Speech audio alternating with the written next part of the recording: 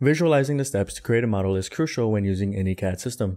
Engineers and designers have to mentally deconstruct a three-dimensional model into its foundational 2D sketches and basic 3D features. For example, imagine a complex model like this one. To model this part in the CAD system, you must break it down to its simple geometric shapes driven from 2D profiles. These simple geometric shapes are defined by using features applied to sketches. This idea of using sketches and features to construct parts in a CAD system is known as feature-based design. Notice, this part has several 2D profiles that can be identified. These 2D profiles are created with sketches. Then, 3D features are applied to the sketch profiles to create the part geometry.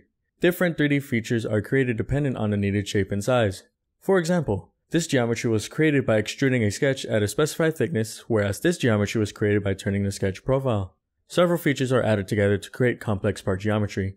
Recognizing the needed 2D profiles and understanding what 3D features should be applied is the art of 3D feature-based modeling. This skill set can be developed by improving your spatial recognition and visualization skills.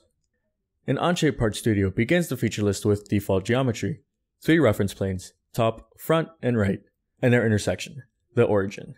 The default geometry provides a starting point to begin the model, establishes an orientation, and defines a 000 in the 3D space. Most part models begin with a 2D sketch on one of these default reference planes.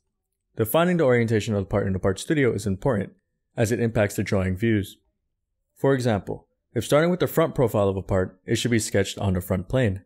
This establishes the front of the part to be facing the front of the graphics area, as indicated by the view cube.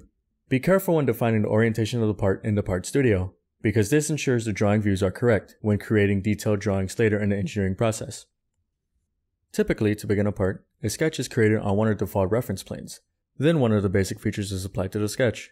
Onshape's four basic features include extrude, revolve, sweep, and loft. Each of these creates different geometric shapes and requires certain parameters to define the feature. These features are explained further in a future video. To continue modifying the part, more sketches and more features are added until the desired geometry is created. Parametric CAD displays a list of how the model was created, which sketches and features were modeled, and their order, which feature was created first, second, third, etc. This allows you to edit the definition of the model at any time to make changes, without having to remodel the design completely. Relationships are established between features, so as you edit a feature with dependencies, the updates propagate to all child or dependent features.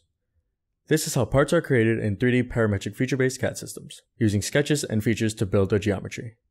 As you become more familiar with part modeling, you learn how to incorporate more advanced features in designs. In this course, the four basic features are introduced, but more features and advanced options are explained in other Onshape courses.